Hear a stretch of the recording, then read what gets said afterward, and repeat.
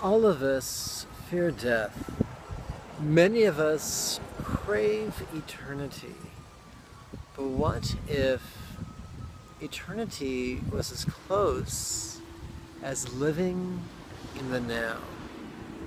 What if the now was not an object to be grasped at, focused upon, or concentrated, but rather relaxed into? That's right, my friends. Welcome to the eternity of the now.